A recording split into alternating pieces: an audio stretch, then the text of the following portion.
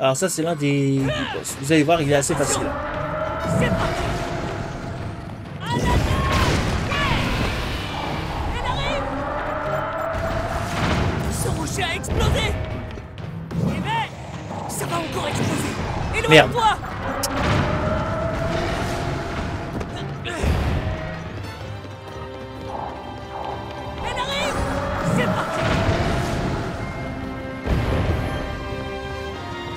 Là, tu mets des angles.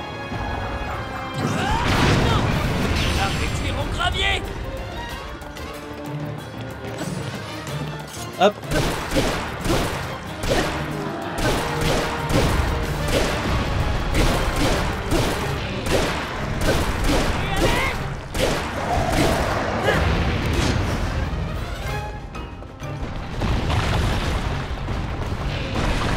Après, je suis jamais allé à sa deuxième phase, donc euh, je sais pas.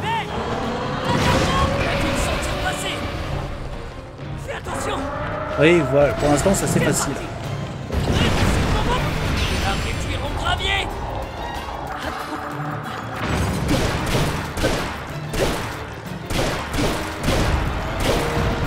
Réduire en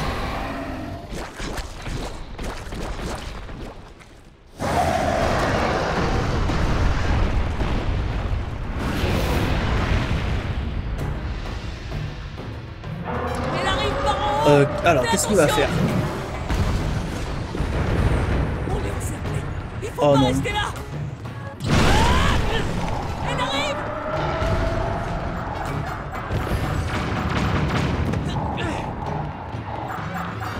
Viens. C'est juste, ouais. C'est parti Attention, c'est parti.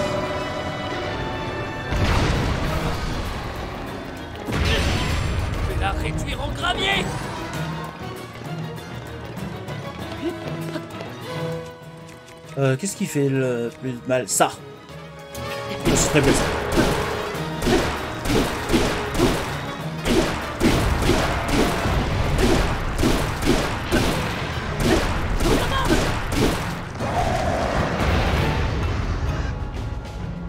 voyez, il est ultra facile. Enfin, euh, il faut pas que je ça non plus.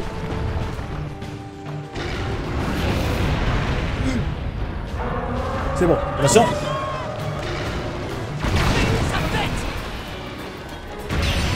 Maintenant ou jamais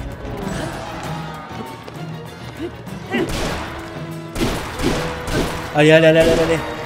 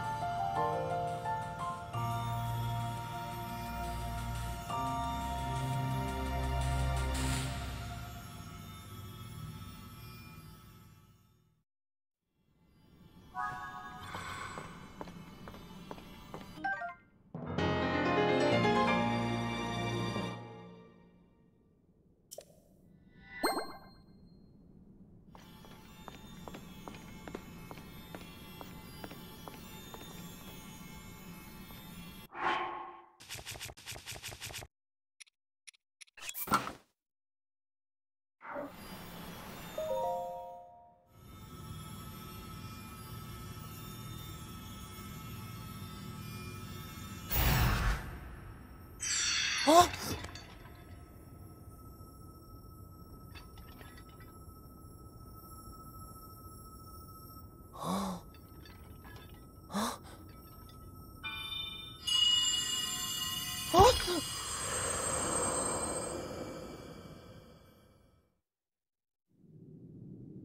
mon descendant.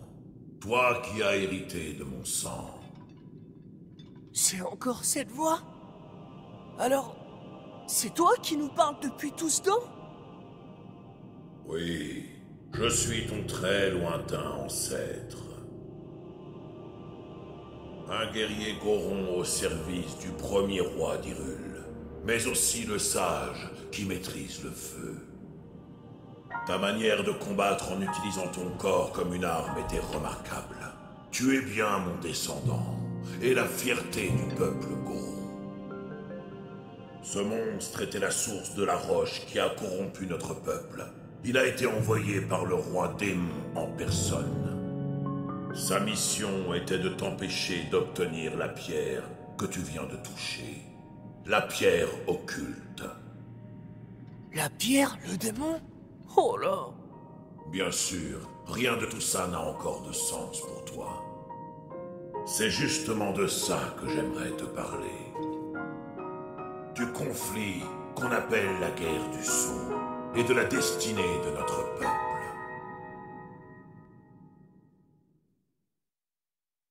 Tout cela s'est produit dans un passé très lointain.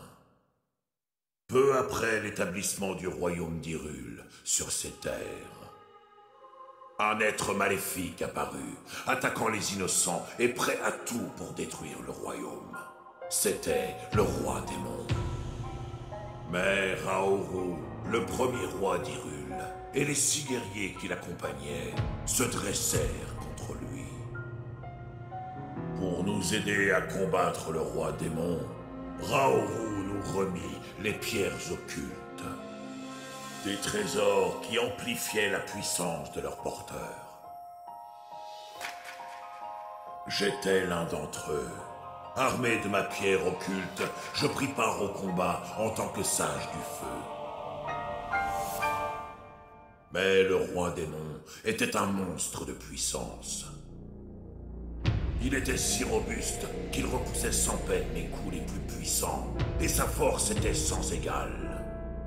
Le roi Raoru finit par comprendre qu'il nous était impossible de vaincre le roi démon.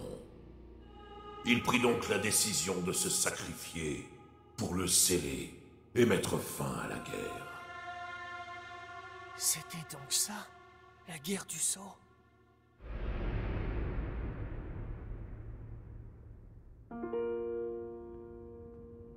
Quelque temps plus tard, l'un des six sages, celui du temps, me rendit une visite qui a décidé du destin des Gourons.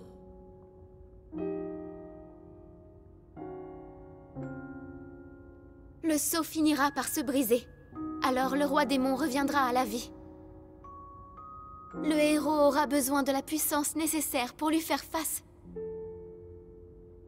Le pouvoir du peuple Goron. Celui de contrôler le feu.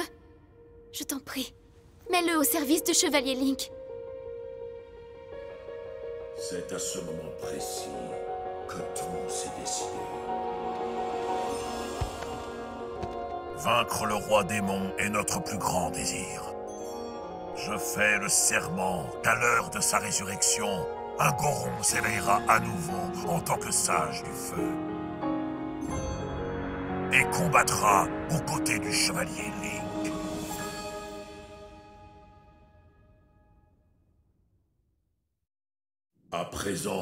Vous savez tout sur la guerre du sceau et sur le destin de notre peuple.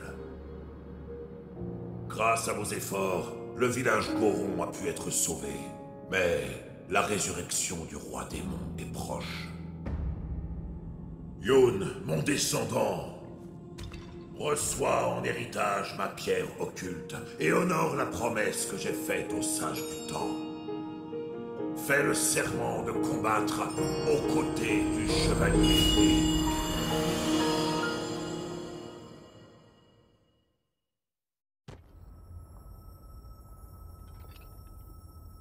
Alors je dois combattre aux côtés de Link? Ce serait ça ma destinée?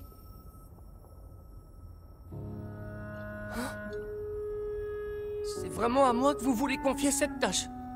Vous êtes sûr? Parce que moi, j'ai pas la carrure de mon ancêtre, et de ses compagnons. Mais bon, je n'ai pas le droit d'hésiter, sinon je ne me pardonnerai jamais. Je me suis assez comporté en enfant gâté. Je vais me battre, vous allez voir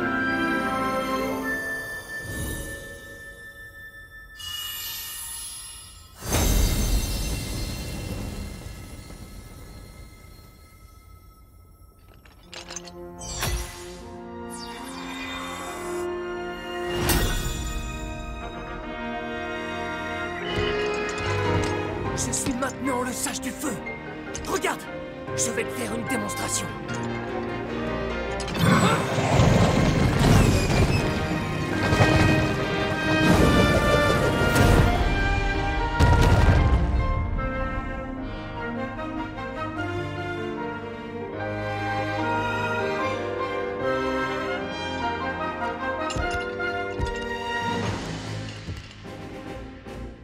Allez, donne-moi ton poing, Link.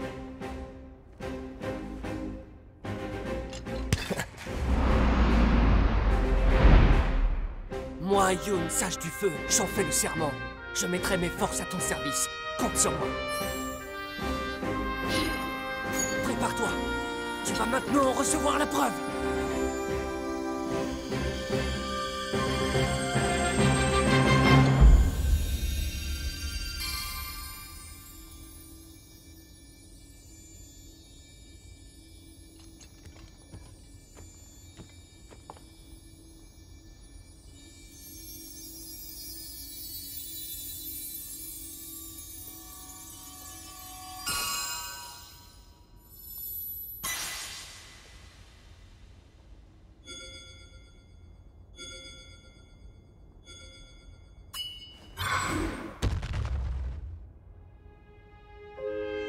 À cette bague, peu importe où tu te trouves, mon pouvoir sera toujours avec toi.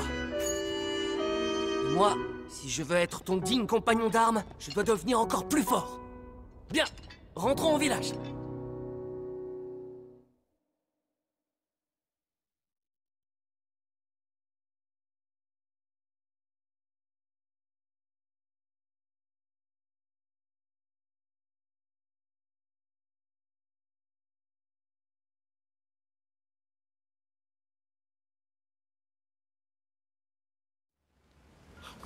Oui.